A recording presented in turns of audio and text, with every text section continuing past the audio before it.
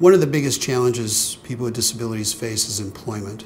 Depending on whose statistics you look at, 60 to 80% of people with disabilities are either unemployed or underemployed. One of our biggest missions is to change that percentage, reduce that percentage so people with disabilities can be a part of their community through the work that they do. My name is Collette Miner. I love work a lot. I work three days. I work Tuesdays, Wednesdays, and Fridays. The job that Collette is working right now through Exceed is at Georgia Pacific. It's a very demanding job. I like my job. It's called pack, paper towels, and bathroom things. She rotates every 30 minutes and she's able to handle every one of those tasks. Even though when she's palletizing, she's short, you can't even see her palletizing, but she has built up muscles in getting those boxes onto the pallet. I need to wake up 1 o'clock for work and I make it ready, get my newspaper, my pill, and lock my door, leave, and get on bus, get two buses, and catch downtown Poland. Colette is a very independent person. She has been able to have her own apartment and live independently. I am.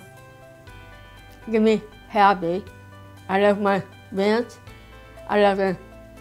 And I pay my bills, phone bills, all that stuff. What she does with Exceed and at Exceed really helps her build her independence, helps her access resources in the community, uh, builds her self-esteem, allows her to make new friends and create long-term relationships. And Exceed is really proud to be a part of that. I like my friends, my work. Yes, I do. I like sing with my guitar. I do. I go bowling is Milwaukie. I get my own, I get my own ball, I get my own shoes. Collette's personality is so positive that it affects everybody. Collette is just a star. Uh, she's small in stature, but big in energy and heart.